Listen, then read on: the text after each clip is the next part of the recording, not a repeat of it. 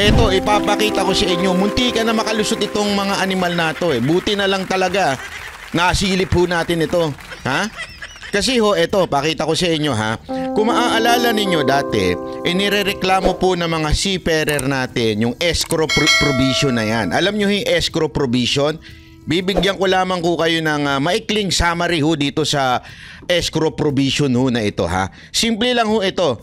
Kunwari ang isang seafarer, ah, alam niyo mga marino natin, di ba, magkasakit. Usually kasi ah, may kwento pa nga ho dyan eh. Meron akong ah, kamag-anak dyan na nagka ano nag ah, inatake eh nakakalimutan yung gamot di ba inatake diyan sa ano sa barko eh siya ho ay nagka-problema hanggang dun sa kanyang ah, agency nagka-problema and eventually natigok di ba So, para humakuha yung pera o yung insurance o yung kung ano mga danyos na na ibibigay ng agency, eh, pinaglabanan ho yan sa dalawang ahensya ng gobyerno dito sa Dole. At ah, nung naawardan sa kanya, eh, may apil-apil pa sa korte. At bago pa makuha, ay naku po, limpak-limpak na trabaho at saka panahon ang kakailanganin mo bago mo makuha yun. Ah, eh lalong-lalo na ho nung iba mga kababayan natin na buhay pa, nagkasakit, nagkaroon ho ng ah, ng uh, wari aksidente, 'di ba ho? Tapos magki-claim sila ng ah, insurance mula doon sa kanilang ahensya. Ngayon paglalabanan yan eh. Yung mga ahensya naman ho, wala naman akong pakialam yan sa mga sa mga marino natin, sa mga seafarer natin. Pag sila ho nakasakay na, tapos na ho, kumita na ho sila.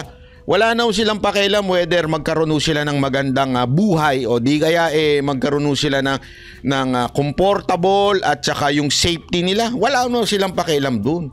Ang kanila kumita na ho sila tapos pagka nagka-disgrasya, di paglalabanan yan sa dole. O pag naipanalo mo, sasampahan pa nila yan ng ah, parang appeal dun sa korte. So isipin mo, dalawang lumabang ka na nga sa dalawang ah, agency sa ilalim ng dole.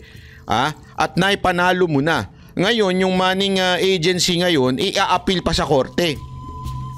At para madinggin pa ho ng korte, at bago maibigay sa iyo yung benepisyo mo o di kaya yung insurance mo o di kaya yung tulong nila na inaward na dun sa unang ah, dalawang ahensya, eh grabe ho ang panahon. Ha? Yung iba nga hindi na inaabot, tigok na. Ha? Sabi nga nung isang ah, nakita ko napanood kong isang uh, seafarer, sabi niya, turing nyo sa aming mga OFW bayani. Tapos pagka tulong-tulungan na, nakakalimot na ho itong mga congressman natin, mga mambabatas natin sa amin. Abay, talagang tinutulad, talagang tinutotoo ninyo yung salitang bayani. Bakit? Hinahayaan nyo muna kaming mamatay bago nyo kami bigyan ng, ah, ng aming benepisyo. Yun po ang escrow provision na tinatawag natin.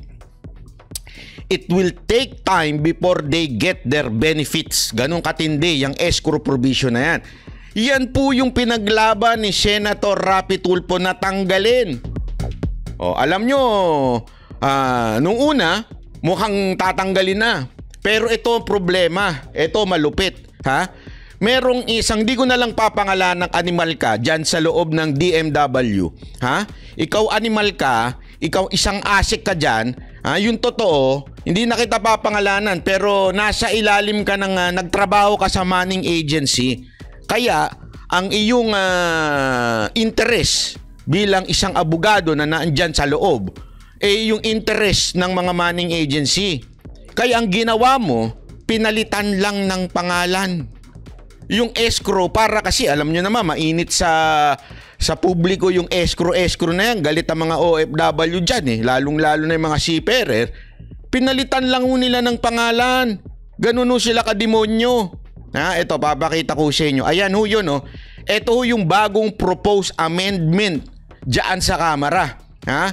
Ito yun. Nakita nyo yung nas dyan? Yan yan yan yan yan yan yan. Yung paragraph na yan. Kita nyo yan. Ilalakihan ho natin ha para maunawaan ninyo, kunwari, tinanggal nila yung escrow provision. Kunwari lang. Ganyan mga kagago yung mga animal na yan eh. Ha? pinalitan lang nila ng pangalan. Patutunayan ko sa inyo, pinalitan lang nila yung ah, tawag, pero sa totoo lang pareho lang din. Ha, tingnan nyo mga, ka- makaka- mga kagago ito mga kamera natin. O, ayan ho ito. Ito ha, provided, ito yung ah, ano ha, yung ah, mas malaki. Provided furthermore that to ensure execution of items and or on appeal or judicial review the judgment obligate prior to appeal or judicial review shall deposit. Abay tarantado rin pala ito mga talaga to. Oo. Ha I, pareho lang din yan eh deposit in fiduciary fiduciary account dati escrow yan ngayon pinalitan ng pinang, pinahirapan lang eh Oh, mga tarantado talaga itong mga congressman natin. Pinahirapan lang eh. Pudusyari pa, pudu-pudusyari nyo dyan. Escrow din yan eh. Oh, eto ha, nakasulat ha. Papakita ko sa inyo. Oh, provided moreover that any interest earned from fiduciary account shall always be awarded to the judgment oblig. Okay, eto ha, mapakinggan ninyo to. Eto, eto. Oh, yan yung bago. Okay, yan yung pinalitan. Ito yung dati ha. Papakita ko sa inyo yung dati. Ito naman yung dati. Yung sa escrow. Oh, ayan. Any monetary award by arbitrator or to the seafarer or the seafarer successor in interest made whether in voluntary or mandatory arbitration or by NLRC, yan yung uh, ahensya sa dole, shall be placed in escrow if the employer or money agency has raised intent to raise the decision. Sa madaling salita, ilalagay sa escrow. Ibig sabihin, habang pinagtatalunan pa sa husgado, na andi dito muna sa escrow account. Okay? Yung pera. So sa madaling salita, hindi makukuha ng mga seafarer agad-agad yung benepisyong kailangan nila gamitin pampagamot, pampalibing, o kung ano man. Okay? The amount shall remain in escrow until the ins- the issuance of an entry of judgment. Abay, tarantado talaga ito mga to. Kita nyo ha? Oh, yan din yun eh. Oh, eto, ilalagay din. Oh, ilalagay din sa eh, fiduciary account. Ayan, oh, nakalagay yung shall deposit in a... fu- Pang, gusto ko talagang magmura eh. Alam nyo, bakit ko na, na gustong magmura? Hindi ho, kasi, kasi ganito eh, tinatarantado nyo yung mga seafarer natin. Di ba ho? Pinalitan nyo lang ng pangalan. Sasabihin nyo, hindi, wala na yung escrow provision na yan. Wala na yan. Tapos na yan, hindi na yan. Appeal na yan eh. Napalitan na yan. Abay, gago pala din kayo, no? Fiduciary ang tinawag ninyo. Pero ganun din yun, iiwan mo din dun sa account na yun bago mo makuha pagtatalunan muna sa korte. Abay, ganito lang ko kasimple yan, ha? ha? Kung dati, ayaw nyong tawaging kabit yung mga extra curricular ninyo. O nga meron kayong asawa, di kaya jowa, tapos meron kayong kabit. Ayaw nyong tawaging kabit. Kasi ang pangit naman niyan, kabit. O, anong ginawa niyo? Pinalitan nyo. Ano na? FB. Anong FB? Aking body. Ganun na. Kasi ayaw nyo ng kabit eh. Oh. O kaya ano kung ayaw nyo ng kabit? Ano din? FB. Anong FB na naman? Bastos mo talaga, Banat Bay. Hindi. Friends with benefits. F, FWB yun. Pero FB na lang. Di ba? Ayaw nyong tawaging kabit, pero sa totoo lang, shame din yun. O, di ba?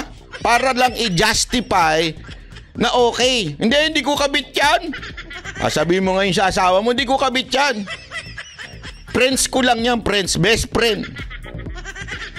Best friend, nakapatong, animal ka. Nakahawak ang kamay, kung saan siya, nakahawak ang kamay, tapos sabihin mo, best, best friend siya. Ganyan. Oh, a- a- anong tawag ho nyo doon? Kunwari kayo yung asawang babae, anong tawag nyo doon? Di ba? Katarantaduhan. Di ba? Isang kawalang niyaan. O, ganun din ho. Itong mga kam- congressman natin, pinalitan lang ng pangalan pero the same shit, ika nga. The same old. Pambihira talaga itong mga kam. Alam nyo kayong ano ha, kayong ah, mga congressman natin. Hindi pa ba si inyo sapat yung extraordinary fund nyo? Mga animal kayo? Hindi pa ba sapat yan? Kailangan nyo pang uh, kailangan pang ilabi ng mga manning agency sa inyo ito para payagan nyo at kailangan nyo munang kumita. Mga gago talaga kayo, no? Hindi totoo, sa totoo lang ha, may sahod na nga kayo, ah, may mga extraordinary pan na nga kayo. Ngayon, gusto nyo pang pagkakitaan tong mga seafarer natin? Oh, totoo, bakit nung kako ang pagkakitaan? Kasi nga ho, may, ano ho yan, nilalabi ho yan ng mga manning agency. Para ho eh payagan at hindi nga naman may mensa ng uh, insurance ho itong uh, manning agency natin. Ganyan ho sila kawalang niya. Alam nyo, nakakaawa. Sa totoo lang po ah, nakakaawa ho itong ating mga kababayan. Lalong-lalo na ho itong mga seafarer. Ang hirap po maging seafarer. Yung totoo lang ho ah, apakahirap po niyan. Ilang buwan kang nandoon sa laot. Di ba? Walang makausap. Kanya-kanya na lang ang buhay dyan. Di totoo, mahirap po dyan. Subukan niyo. Eh, di, eh, tayo nga lang, pandemya, di ba? Wala pang isang linggo, gusto na natin lumabas eh. Excuse me po. Eh paano pa kaya yung mga ano natin na nandun lang, puro tubig lang ang nakikita? Hindi ho madali. Lalong-lalo na ho sila ho ay madisgrasya. Kailangan na kailangan ho ng pera ng para may pagamot. Hindi naman po ito kapritsuhan. Hindi ho ito li, uh, ika nga eh, leisure o di kaya ito ay uh, para lang sa kanilang uh, alam mo yun, para sa kanilang uh, kagustuhan lamang. Ito po'y pampagamot, pampalibing. Bakit ayaw ninyo kagad ibigay? Eh kasi po, ang balita ko ha, balita ko, ang gumawa nitong uh, lintik na fiduciary na ito Walang iba kung uh, hindi dyan sa DMW na isa sa mga opisyal dyan na dating nagtrabaho sa Manning Agency. Kaya ako po ay nananawagan kay Senator Rapi Tulpo. Kasi sabi ni Senator Rapi Tulpo, ito daw po ay uh, kanyang paninindigan at talagang sisiguraduhin na matatanggal yan lintik na escrow provision na yan. Sinabi ni Senator Rapi yan, Senator Rapi, Panindigan nyo po, pinalulusot lang nila na kunwari wala ng escrow provision pero ayan ho, malinaw pa sa malinaw na naandyan ho ang escrow provision, pinalitan lang ng pangalan Senator Rapi. Sana po ay patuloy ninyo maging fighter ng mga seafarer. Umaasa po ang mga maliliit nating kababayan sa inyo lalong-lalo na itong mga seafarer para ipagtanggol nyo at tanggalin ho ito talagang provision na ito. Ibig sabihin, pag nadesisyonan na ng dalawang uh, ng dalawang ahensya ng gobyerno sa DOLE, agad-agad i-implement at ibigay kaagad sa seafarer. Ako po si Banat Bay. Maraming maraming salamat po, Senator Rapi Tulpo. Sana po ay ito'y uh, inyong maitulak sa ating uh, Senado. Salamat po. Nauna nang sinabi ni Attorney Harry Roque, dating tagapagsalita ni former President Duterte, na tila katakataka raw kung bakit umuusad na sa Kamara ang mga resolusyong sumusuporta sa ICC investigation. Kaya nga, totoo, nakakapagtakay bakit umuusad pa yung... Alam mo, yung, tingnan yung mga... Tingnan yung mga pinagkagawa yung resolution dyan sa Congress. Yan sa Kamara. Unang resolution nyo na dapat ay panatalihing uh, nakatayo ang uh, Kongreso dito sa mga sinasabi ni PRRD. Ah, di ba may naglabas sila ng ganoon, may drama-drama pa na na may script pa ata itong si itong si Sino ba ito? Yung kongre- congressman na puti-puti ang buhok na matang lagman. May ganung-ganunan pa sila. O resolution kay Duterte. Ngayon resolution naman ng ICC. Ano mang gagawin nyo dyan sa Kongreso? Puro resolution against Duterte? Wala na ba kayong gagawing resolution diyang matino? Maggawa naman kayo na resolution na may pakinabang sa taong bayan. Hmm.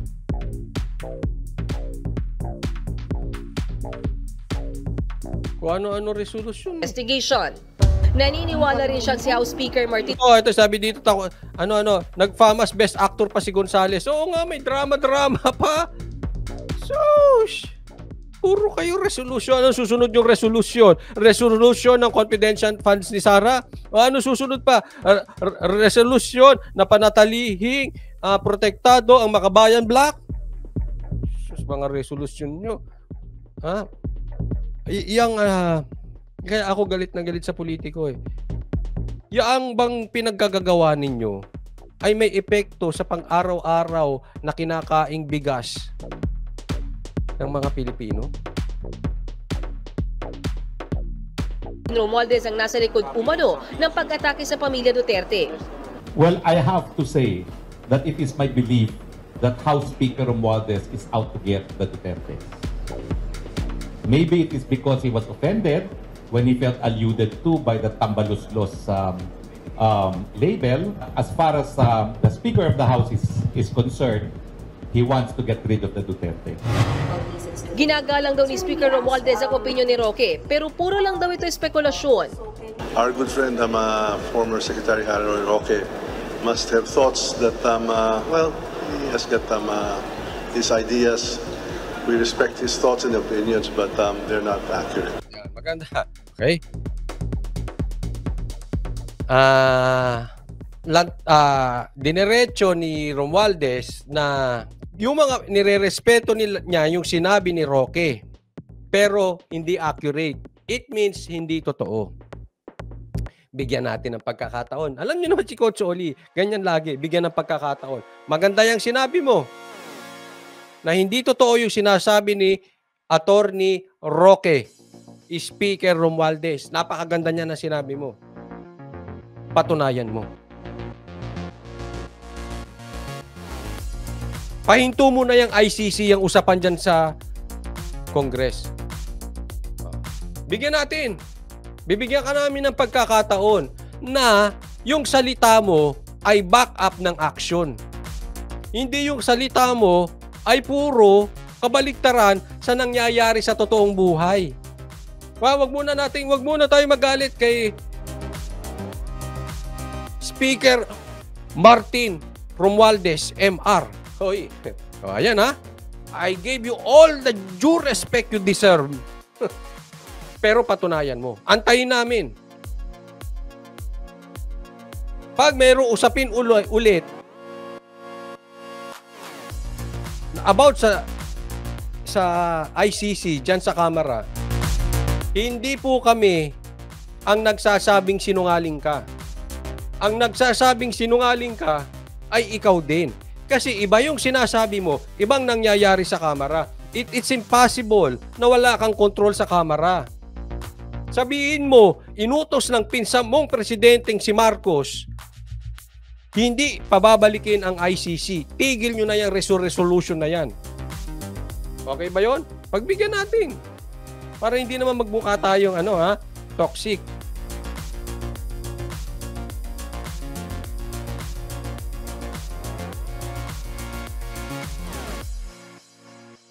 Abangan natin. Maganda yung sinabi mo, Speaker Romualdez. Basta totoo. Pero pagka hindi, eh, sorry. Kasalanan mo yan. Puro lang kayo salita. So I'll just put it at that, and um, uh, there's nothing to it. A lot of speculation, uh, but none of that is true. Tungkol naman sa pag-usad ng mga resolusyon kaugnay ng ICC probe, ipiniliwanag ni Speaker Romualdez na sinusunod lang nila ang tamang proseso. As a matter of course, uh, we have to read out, you know, um, uh, these um, uh, bills or resolutions, and we have to act upon the same. Tama na, tama na. Ferdinand Magellan Jr., maraming salamat. Pangkapi coach, nakaka-high blood ako sa itsura nitong si Croco Martin. Croco Martin na ngayon, dati tambalos-los ngayon Croco Martin. Oh. Nakita ko yung post siya ni ano eh, ni Criset eh. No? But uh, anyway, thank you Ferdinand Magellan sa sa kusang loob at sa pag-sponsor ng live na ito. Ah, sinusunod lang daw ang tamang proseso. Mali ka dyan. Ha? Kaya nga kailangan daw nilang aksyonan yung resolution na yan. Hindi, mali ka dyan. Hindi na po kailangan ng proseso. Ano, yan ang sinasabi ko na mali din ni Boying. Ano pang klaseng proseso ang kailangan ninyo. Una, hindi na tayo member ng ICC. Pangalawa, sinabi ng presidente nyo, hindi pa papasukin ng ICC. Ano hindi malinaw sa inyo doon? Ba't kailangan ng proseso? Dapat sinasabi nyo sa ICC, dapat pinagtatanggol nyo ang soberanya ng Pilipinas. Oy, mahiya kayo. Huwag kayo nakingialam dito. Lumayas kayo. Ay, kayo, mag, pag-aaralan, proseso. Tatanungin ko si E.S. Bersamin. Tatanungin ko, ano ba ang masasabi ng executive? Wala nang ganunan. Ang dadrama ninyo sa totoo lang. Ginaganon-ganon nyo pa eh.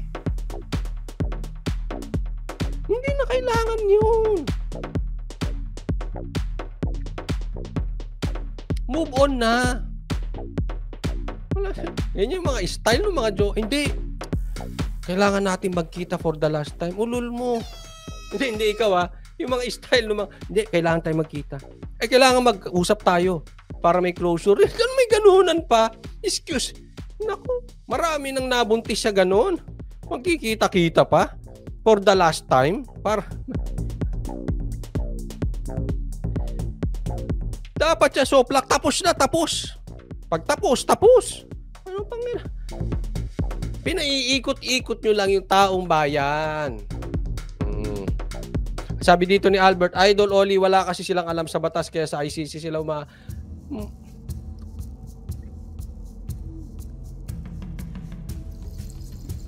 Ewan ko ba? Hindi ko ata maintindihan itong mga ito eh. Hindi na natapos yung usapan ng ICC ang naging presidente natin pula eh usa usapan ng dilaw yung ICC bakit pinag-uusapan nyo pa? Hindi ko kayo maintindihan. And uh, we have to be sensitive and responsive to the um, uh, hindi mga na! kailangan pa maging sensitive and responsive. Hindi na! Tigas naman ng ulo eh. Sinabi na nga ni presidente yan eh pauli-uli naman ah Naiinis na ako. Anong gagawin mo, Kocholi? Inom. Hindi kasi paulit-ulit eh. Kasi, eto ha. Pag ikaw ay hindi masyadong ano sa politika, at pinakinggan mo lang ito sa TV, ay oo nga. Takot ang Duterte sa ICC. Eh pinag-aaralan lang naman. Di ba ganun ang dating? Pero ang totoo niyan, hindi na kailangan pag-aralan yan.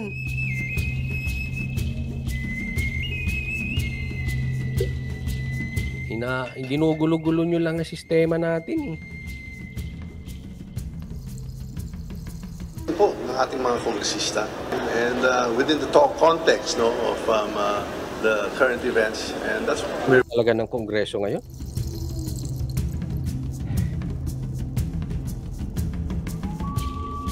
I really believe depende talaga yan sa leaders. we leave it. We don't read much more into it than uh, what other people do, but um, nonetheless, they are still entitled to uh, their own views and even their speculations. But we leave it to that. Nagbab Ganito po yan, ha? Ipaliwanag ko pakinggan yung mabuti. Hindi po tayo nagtatawag ng kung anong klaseng ah, pag-aaklas. Pero Speaker Romualdez, nagsalita na po ang presidente niyong si Marcos. Hindi papapasukin ng ICC. At uulitin ko po, inulit yan ni Sara at kinote niya. So malalim po ang ibig sabihin niyan.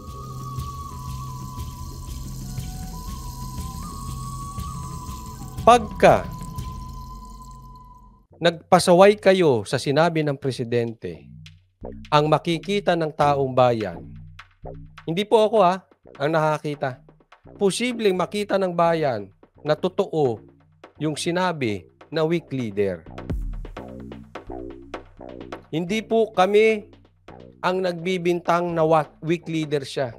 Kayo po, mga nakapaligid kay Marcos, ang nagpapatunay. Pag hindi nyo sinunod si Marcos, kayo mismo, kayo mismo mga kaalyado niya, kayo mismo mga pinsan niya, ang nagpapatunay na weak si Marcos. Hindi ko sinasabing weak. Ulitin ko. Pero ito, ito yan.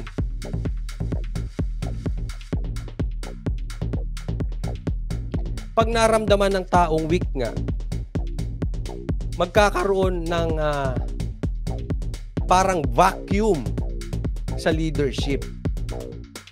At tandaan ninyo, pag pakiramdam ng tao, may struggle sa leadership, ang kasunod niya nag-aaklas ang taong bayan. Don't ever forget that. Pag may struggle sa leadership, pag nakikita nila walang humahawak na matigas, parang walang totoong leader.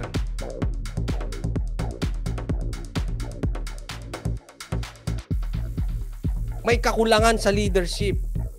May vacuum. Sumusunod niya, naghahanap ng totoong leader ang bansa. Hindi lang po yan sa bansa, sa kahit anong klaseng organisasyon.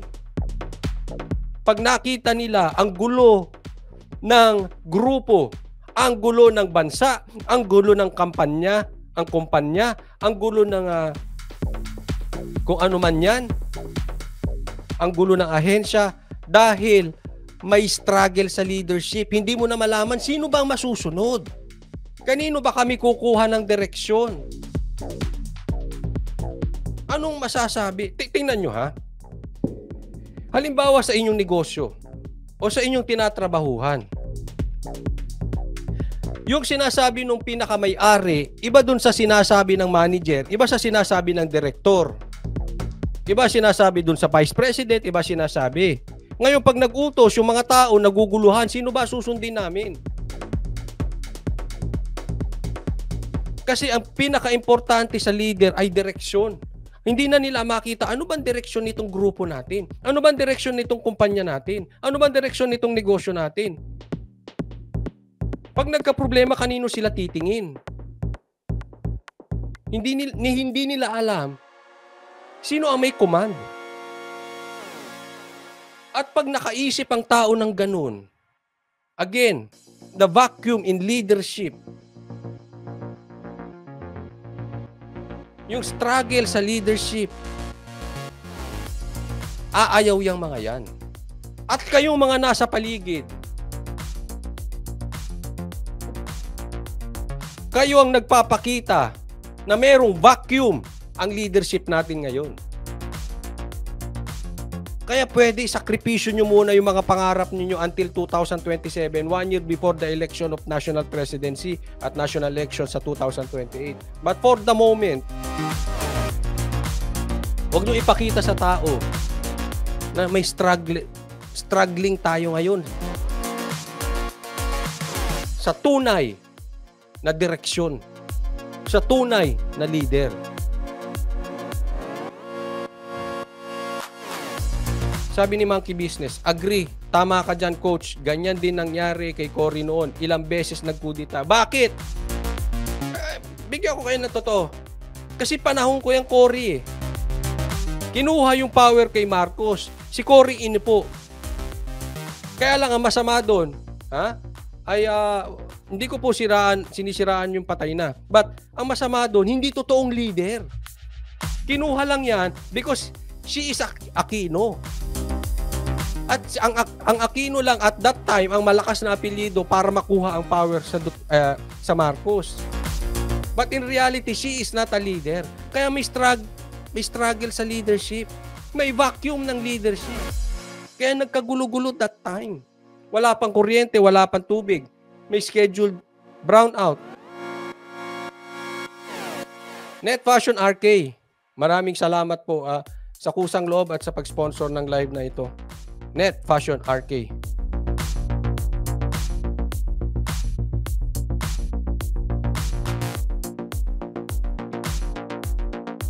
Sabi dito ni Anita Go, tumpak, it's the cabinet and the three branches of government that will prove to the country and the world that Philippine Philippines leader Bongbong Marcos is truly weak leader. Totoo. Kayong mga nakapaligid, kayong sumisira, kayong sumira sa unity team, kayong sumisira sa unity team, kayo ang nagpapakita na mahina ang presidente. Instead na binakapan nyo, wala kanya-kanya kayo. Para nga hindi in sync. Iba sasabihin ng presidente, iba ginagawa sa paligid. You know how insulting that is? Nakaka-insulto yun. Ito sinabi ng leader eh. Iba ginagawa nung paligid. Wag. Maawa kayo sa bansa. Kaya nga, sabi ko, pwede bang magkasundo-sundo muna tayo for the moment? At the same time, asikasuhin natin yung presyo ng bilihin. Ang aga ng politika eh. Kasi yung ano, yung pangarap kasi, yan ang sumisira eh.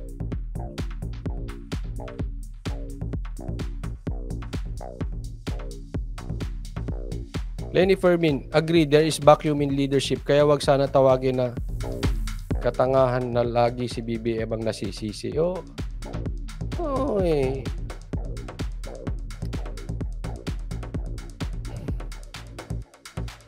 Dapat ito mga nakapaligid kay Marcos, they, they- are there to protect. Eh wala eh. Sila din ang sumisira eh.